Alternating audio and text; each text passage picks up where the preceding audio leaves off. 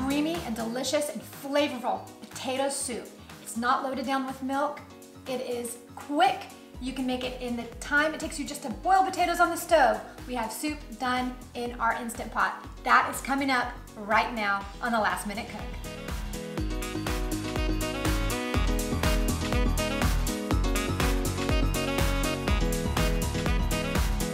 Hi, I'm Debra. You're watching the Last Minute Cook where I share delicious recipes that are quick so that you can make dinner at the last minute and feel good about what you're serving. So if you are new here, consider subscribing and ring the little bell so you'll be notified of my new episodes.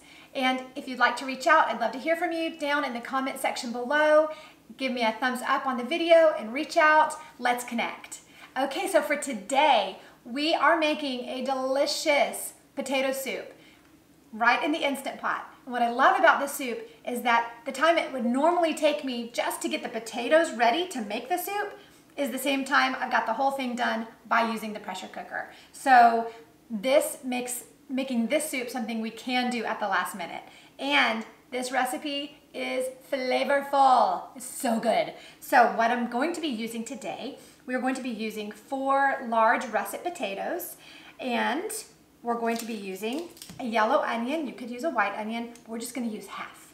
We're going to also throw in some bacon because bacon and potatoes, y'all, oh, they just go together. I'm only using two slices. We'll talk about um, substitutions for that. And a little bit of butter. And we are going to be using chicken stock. And of course, some other wonderful things like cheese and chives and a little bit of garlic. But that's it. Very few ingredients will give us a very flavorful soup. So let's get started.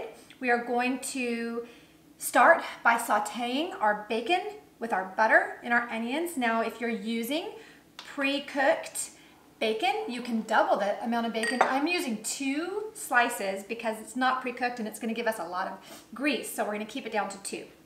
Um, but it gives you just the right amount to get a beautiful flavor within the whole vat of soup that we're about to make. So put our saute feature onto high and hit start. We're going to get in first our butter and our bacon. Now I uh, just go ahead and cut it right on in. I double this up and cut it and just kind of like that kind of small little bite size pieces. These are gonna cook down quite a bit while um, it's, it's sauteing. So again, if you're using like a pre-cooked bacon, you could double this because you're not gonna have as much of the grease. Um, but two slices of uncooked bacon just yields the perfect amount of flavor in this soup. These pieces that are kind of stuck together as they heat and as they cook, they're going to separate, so that's easy. Okay, so let's get that going. And um, we're going to cook that bacon with four tablespoons of butter. Mine's a salted butter. Use whatever you've got, four tablespoons. This is good potato loaded soup, y'all. Okay, get that in there. And once we have our bacon kind of going, I'm gonna go ahead and add our half of the onion, half, this is half of a yellow onion, right on in. That was maybe about 30, 45 seconds. I just wanted to get the bacon going because I'm using uncooked bacon. Now, if you start with pre-cooked bacon, you'll just throw your bacon and onions in there together because really you just want to flavor that onion and that butter with the bacon and it's already cooked. So you'll go ahead and draw out the oils um, very quickly. So get all that just thrown in if you're using pre-cooked bacon. And if you're using pre-cooked bacon, the store-bought kind, I would probably double it and do four, cut up four slices. You see um, any, any bits of brown starting to form or stick to the bottom of the pot, that's okay. I'm gonna just continue to stir it. We're gonna deglaze that in just a minute. Now we're gonna throw in two teaspoons of minced garlic, the next step is to do a deglaze of our pot. I'm gonna add just a touch, a splash of my chicken stock. So this recipe calls for um, four cups of chicken stock. You can use broth, but stock's more flavorful, so I like the stock. So I'm gonna put just a splash in here while the pot is hot. just a splash. There it goes, you can hear that.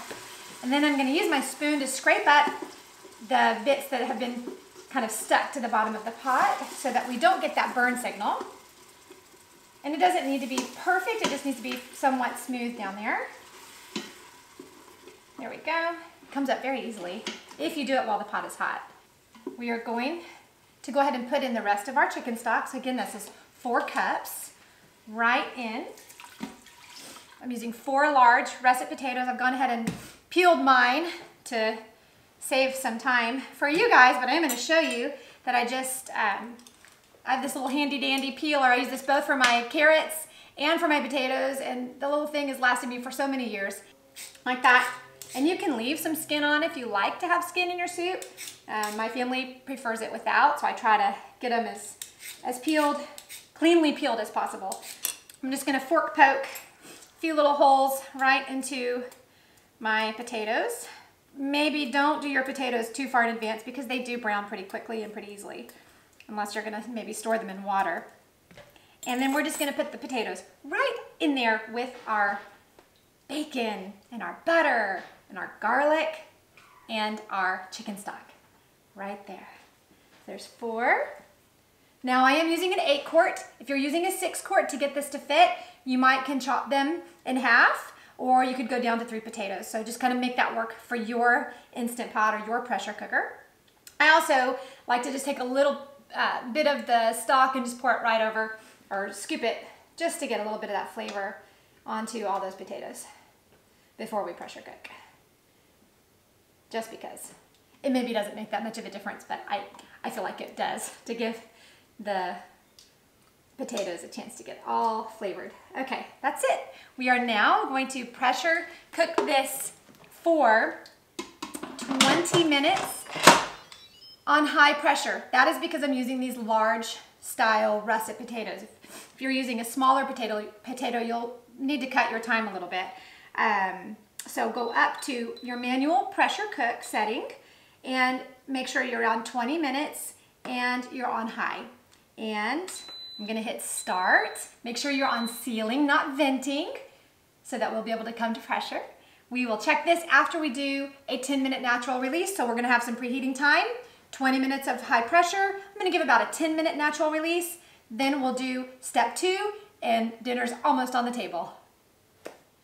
Okay, I've gone ahead and released the pressure after we waited 10 minutes. Um, so it cooked for 20, waited an extra 10 on that countdown and then released that pressure. You could, of course, you know, do a natural release, but I like to release it at 10 because um, I like to have the little bits of potato in the potato soup.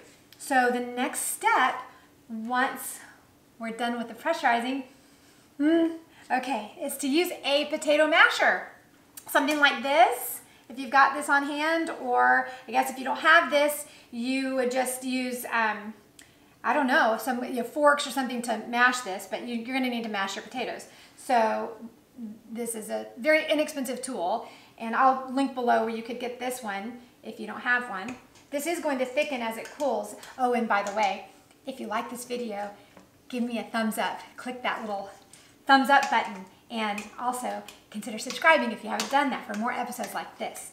Um, so we're gonna mash this up and as this cools, this is going to thicken.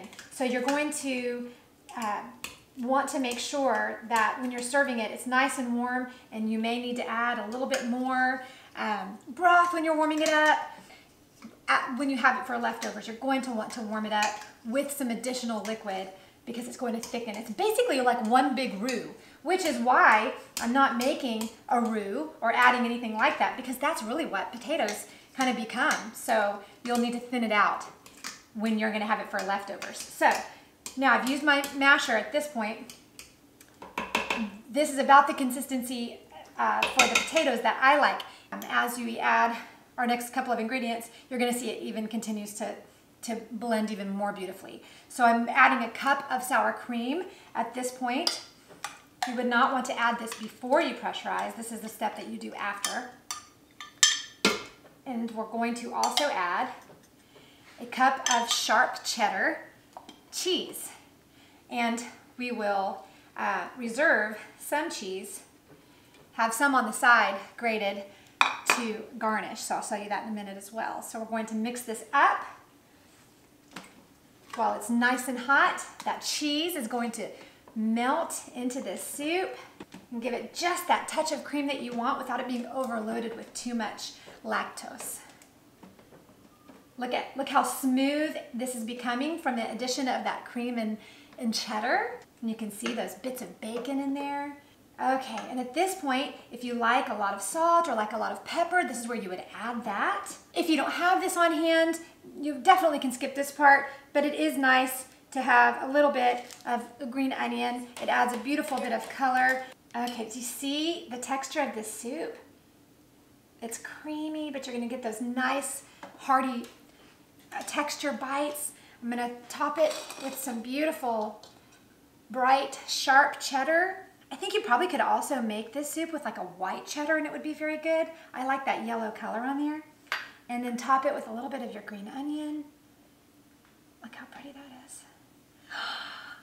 yes.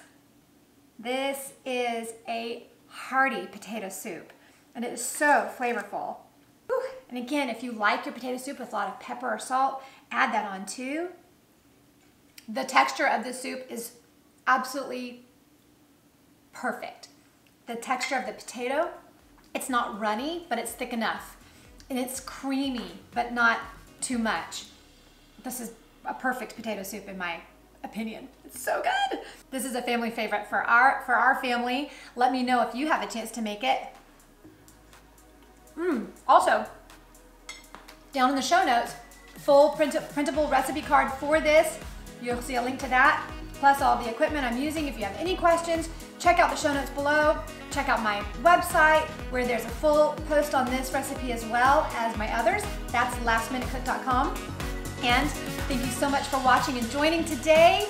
We will see you next time. Buon appetito.